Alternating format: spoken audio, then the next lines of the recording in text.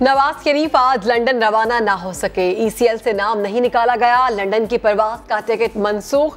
سابق وزیر اعظم کی حالت تشویشناک۔ پلیٹلیٹس کم ہو کر اٹھارہ ہزار رہ گئے۔ ڈاکٹرز کی سٹیرائڈز کی مقدار فوری بڑھانے کی تجویز۔ وزارت داخلہ نے وزیر اعظم کو نام نکالنے کی سفارش کی تھی۔ وزیر اعظم نے معاملہ نیب کو ریفر کیا تھا۔ مسلم لیگ نون کی طرف سے معاملے میں غیر ضروری تاخیر کا الزام۔ حکومت خود کسی شخص کا نام ای سی ایل میں نہیں ڈالتی۔ اس کیس میں نیب مدعی ہے۔ نواز شریف ملزم ہے ہمارے پاس شریف میڈیکل سٹی کے میڈیکل بورڈ کی درخواست آئی ہے۔ سرکاری میڈیکل بورڈ کی تجویز آنے کے نام پر۔ بات نکالنے کا نام کا فیصلہ ہوگا۔ معاون خصوصی فردوس عاشق اوان کی عدالت میں پیشی کے وقت گفتگو۔ توہین عدالت کی درخواست پر سماعت فردوس عاشق اوان کی عدالت سے۔ شو کاز نوٹس واپس لینے کی استدا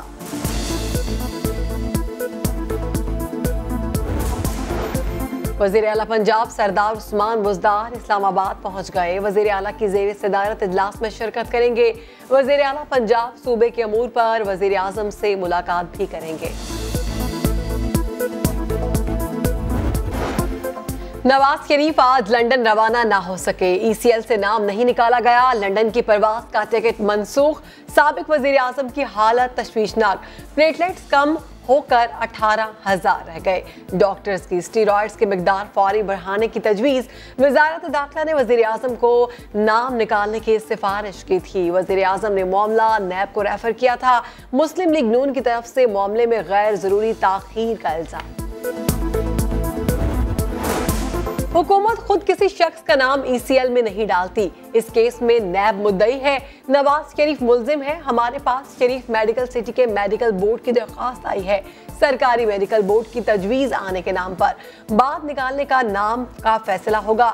معاون خصوصی فردوس عاشق اوان کی عدالت میں پیشی کے وقت گفتگو۔ توہین عدالت کی درخواست پر سماعت فردوس عاشق اوان کی عدالت سے۔ شو کاز نوٹس واپس لینے کی استدا